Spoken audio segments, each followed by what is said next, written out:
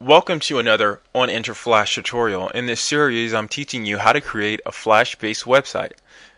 This tutorial is going to teach you about um, the way you should set up your Flash movie to create uh, a good website. What is a good layout? And not necessarily the layout and design, but I mean the layout on the timeline. So let's move over to the timeline and examine what I mean. Well, what I have here is one way of setting up a Flash website. There are so many ways. There are too many ways.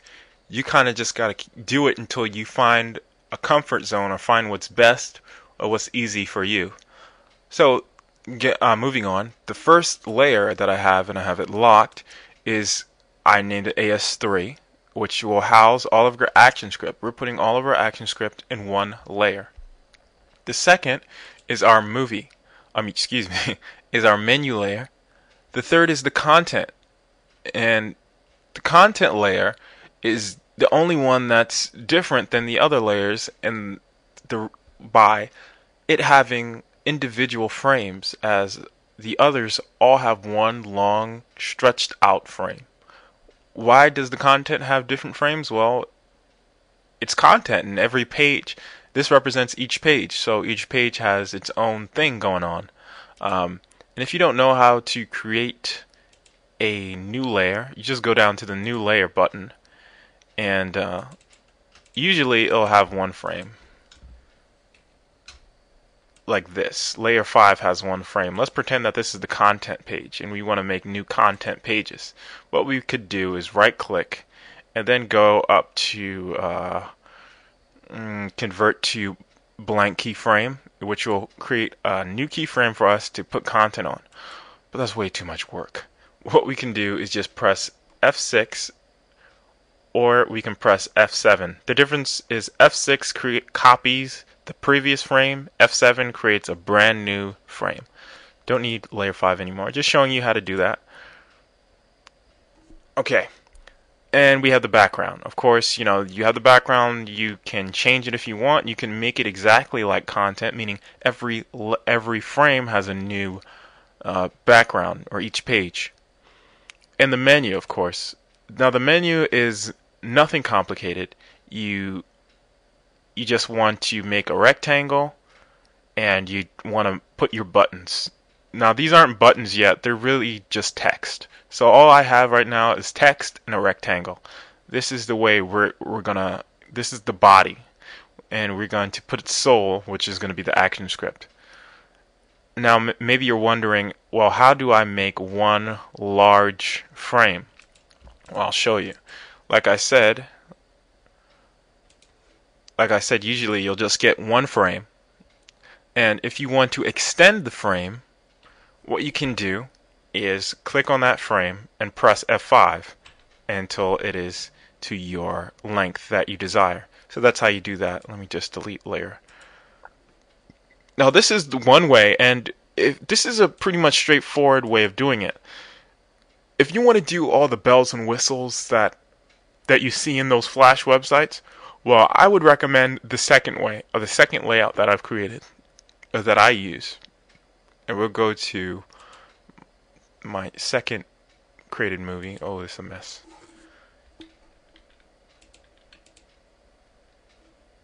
Alright.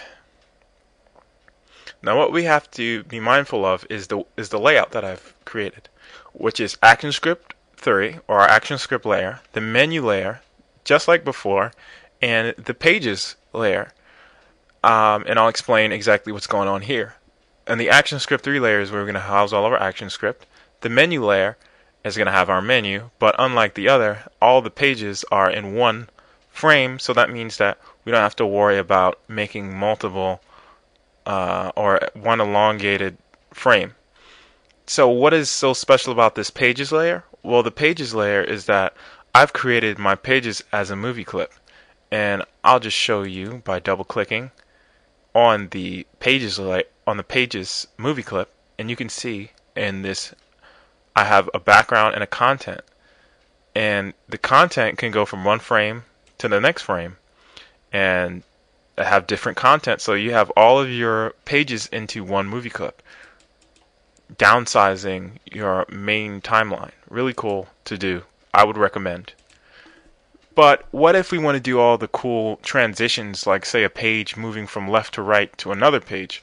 Well, the way we do that is not put multiple pages in one page, but just create multiple pages. And I'll just give you an example right now. Just holding the Alt key and making a duplicate of this page. Now I have two pages. Of course, I would have created a unique page, not just copying it. And I let's say I cop- had another one. So I create three movie clips with content inside of them. And each of these content would be off of the stage. And using ActionScript and naming them, I can move them via ActionScript.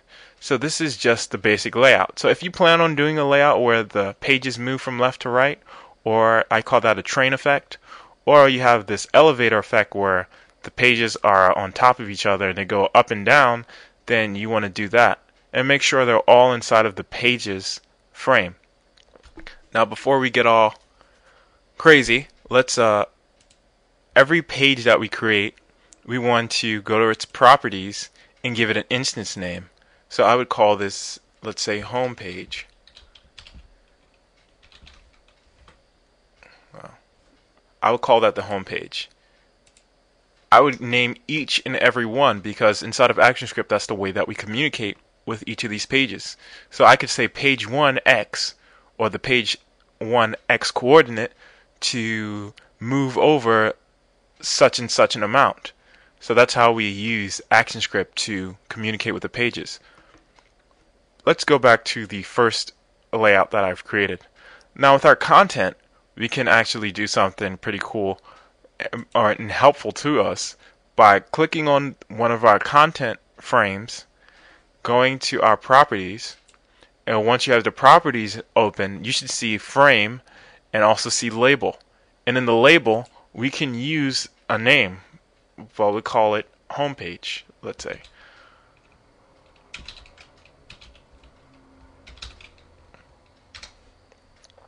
Now naming your naming your frames you'll get a little red flag.